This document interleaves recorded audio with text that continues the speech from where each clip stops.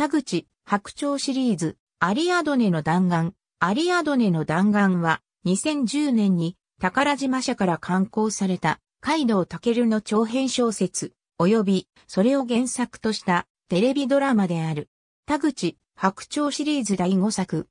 著者は、本作の執筆において、原点回帰を図ったとしている。著者は、本作の内容を、チームバチスタの栄光をプラス、イノセントゲリラの祝祭と評している。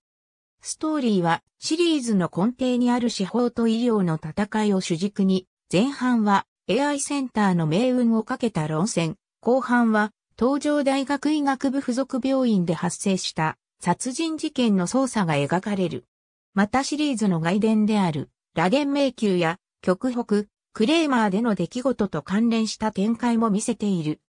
2011年7月に関西テレビ制作のドラマシリーズ、チーム、バチスタシリーズの第3作としてテレビドラマ化された。始まりは、友野という一人の技術者の死因不明の死だった。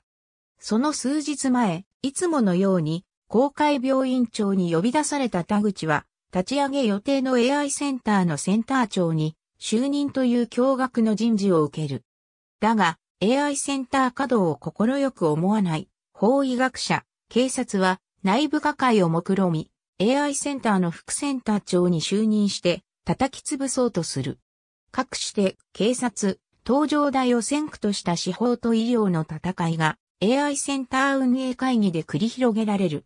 だが、友野の死後、院内で拳銃による殺人事件が発生し、その現場で取り押さえられた高品が警察に拘束されてしまう。白鳥の政治的な裏工作によって警察が強制捜査を開始するまでの3日間のタイムリミットが設けられた。田口と白鳥は公開の無実の証明引いては、登場台の未曾有の事態を回避するため、事件の真相究明に奔走する。副センター長、オブサーバー、チームバチスタさんアリアドネの弾丸のタイトルで、2011年7月12日から9月20日まで、関西テレビとメディアミックスジャパンの共同制作によるチームバチスタシリーズの第3弾としてフジテレビ系列でテレビドラマとして放送された。ありがとうございます。